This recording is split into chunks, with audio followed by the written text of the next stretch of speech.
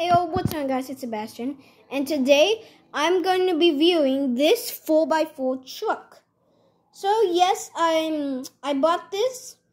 So one cool feature right off the bat is we have these.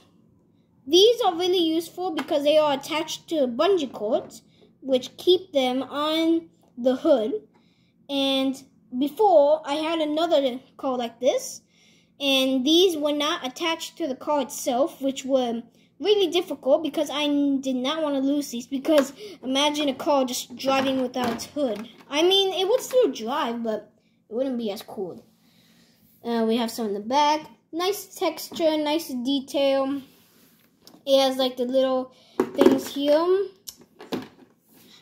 So it's a 4x4 truck. I'm sure you saw by the things like right like right here it says 4x4 so if I take off the hood it says this right here don't just bash blast. And that's because this truck is really strong. So the guy said that this was really strong and it could take a real beating. So he actually tested that by bending it. I can't do that Sorry if that made a lot of noise. Um, I can't really do that because this is, like he said, this is a really strong, really strong. Uh, 4x4, stuff like that. Yeah, it's really we got 4x4. So, 4x4, uh, there's one here. There's another one on the other side. Two in the front. So, one, two, three, four, five. Uh, I'm not sure if there's any other, but nice show and we have the things here. My the suspension, the suspension, my favorite part. I can even raise this and make and buy bigger tires if I want. But for now, I like sticking with these. Like, let me know. Let me know in the comments. Do you think I should change these? Or should I keep it like this? And But I'm definitely going to raise the suspension one day.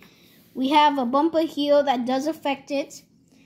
Uh, you We have a huge back bumper, which is pretty extended.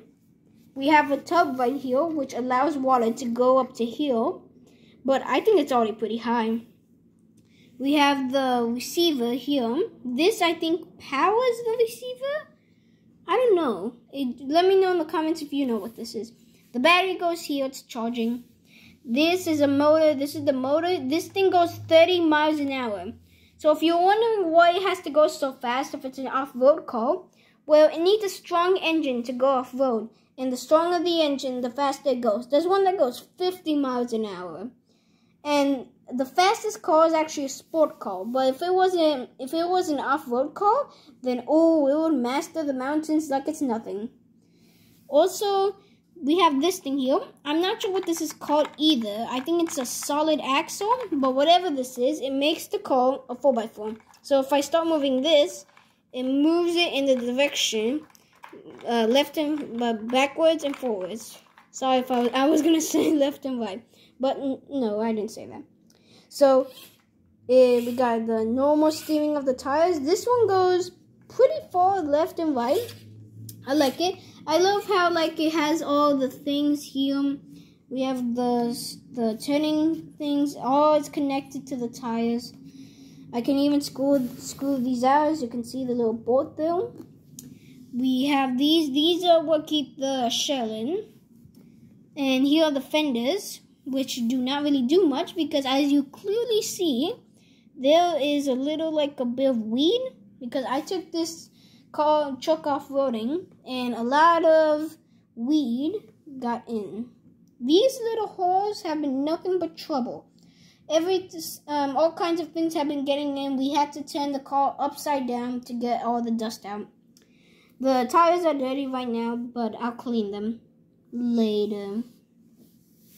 So not really much about this. There was like um, like five things. There was the modem, this thing which I think powers the receiver or does something to it.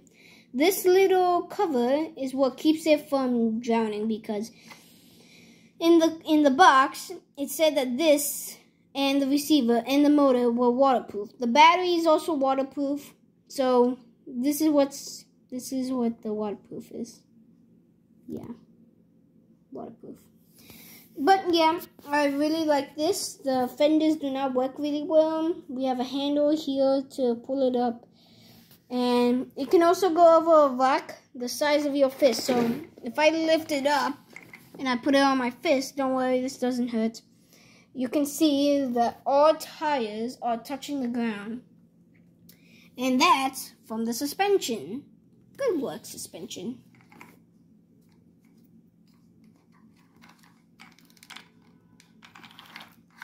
So yeah, a cool 4x4 truck. Uh, one thing I love about trucks is that they have the huge space in the back, but this one doesn't have it, so it's fine. But I can't even make this to a normal city truck. So I could lower the suspension here, and then I could change it to normal racing tires, I guess. I could change it to racing tires because why not? But I love off-roading cars and trucks, so I'm staying with that. Uh, it's not really that dirty, but yeah, I love it. I just love it all. Uh, let me know what your favorite part was in the comments below, and I'll see you guys in the next one. Bye!